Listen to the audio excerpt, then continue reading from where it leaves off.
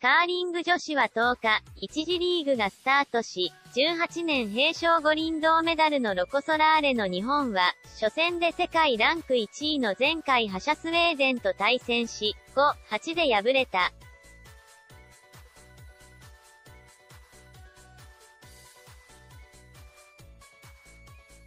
大会へ向け、カナダで約1ヶ月半の事前合宿を実施した。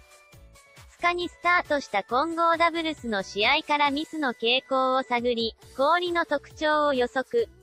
9日の本番会場での練習では、ストーンの滑りや曲がり方を確認し、事前のイメージとすり合わせたが、試合が進むにつれ精度の上がったスウェーデンに屈し、日本は黒星スタートとなった。